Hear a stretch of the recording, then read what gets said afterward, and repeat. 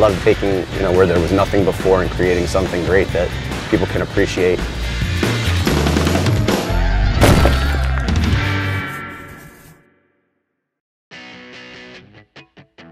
Here we are on site at our Mapes Ave project in Springfield. Today's demo day. Dumpster just got dropped off. Guys are already inside demoing out the basement. I'm gonna walk the first floor with you guys, spray everything off. Check it out. We mark out all the walls. You guys are already demoing downstairs. Just wanna let them know what to take down when they come upstairs. Bathroom obviously all has to go. Uh, we're most excited about this project because it's our first project in Springfield, uh, a town we've been trying to get into for a while. So really looking forward to gutting this one, throwing the second floor on, uh, listing and hopefully selling pre-construction to a buyer that'll come in and pick their finishes. Second favorite day on the job, demo day. First favorite day is the day we close and sell. This one was a broker exclusive. We got it for 272. We uh, financed the purchase with private investor money uh, via the Learn and Earn program. Uh, the plan is to spend about 165 here and ultimately list at 675. We're going to work this project like we typically do with our same crews, everything from the guys you hear doing the demo right now, straight through to the framers, uh, painters, tile, finish guys.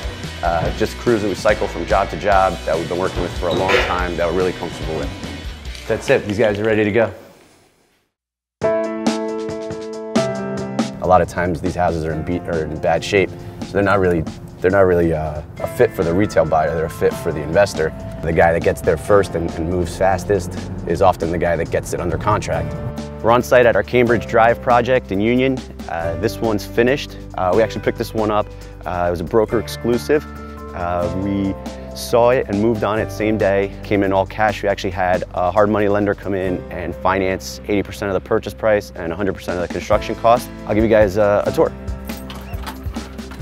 We gutted this entire kitchen to the studs. We actually took out a wall that was dividing the uh, kitchen and the dining room, the formal dining room, and, uh, and blew that wall out and extended the kitchen all the way through. So we actually have a massive 21 cabinet kitchen. Uh, refinished all the hardwoods throughout. They were all uh, preserved under carpet. We saved this uh, millwork here. I thought it added to the uh, the original character and charm of the house. So we didn't want to touch that. The master suite in this house was already pretty big. What we did was we kind of opened it up. So you've got the walk-in closet here.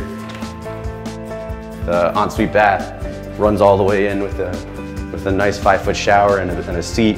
Again, try to keep everything period correct and salvage the old toilet and, and vanities. So we redid this bathroom, but we actually kept the original tub and toilet because again, they had that kind of like that character and charm we were trying to keep. And then we came back through and kind of tried to mirror it with the subway tile, the octagon floor tile, and the white vanity. Uh, it was broker exclusive, we paid 272 for it. Uh, we spent between renovation and carrying costs uh, roughly 80,000 on it. We got $5,000 above ask and we should net 80 when all is said and done.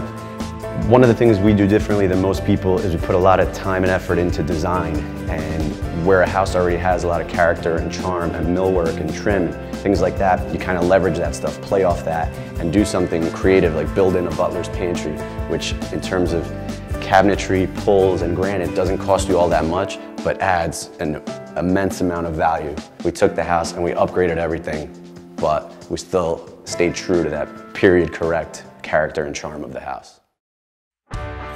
So we just saw one of our finished products and uh, we're actually heading to our Cedar Street project in Cranford, which is a completely different project at a totally different scale.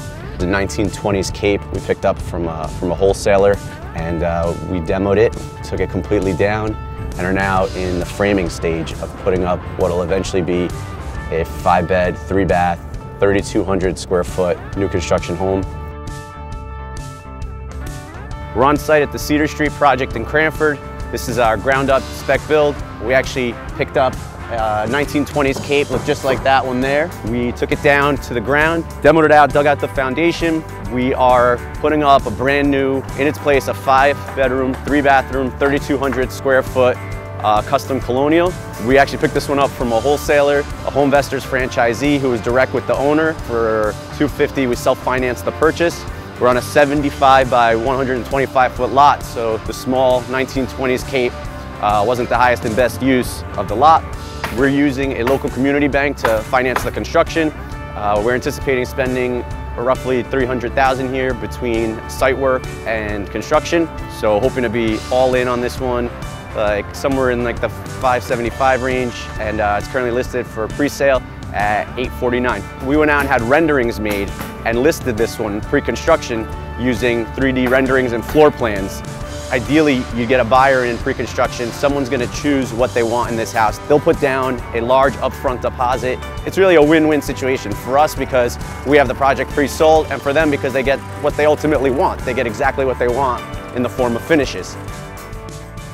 We just left our new construction project in Cranford and we're actually heading over to our add a level in on 22nd Street in Kenilworth. We are on site at our 22nd Street project. We've already had renderings done, 3D renderings of the exterior, floor plans, and it's currently listed at 479. We're into it at uh, 195 and anticipate spending about 135 to uh, blow off the roof and add a second floor uh, to accommodate three beds and two baths upstairs.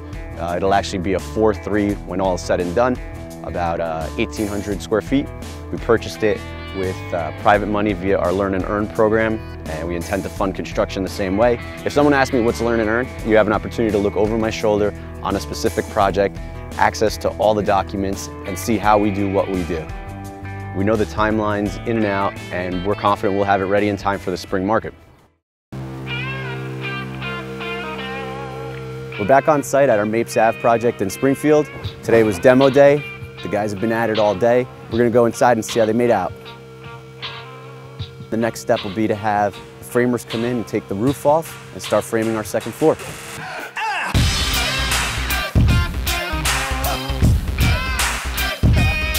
If you want to get involved in one of our future projects and find out more about our Learn and Earn program, where you can put your money to work and learn the ins and outs of real estate investing, reach out to us. We'd love to get you involved.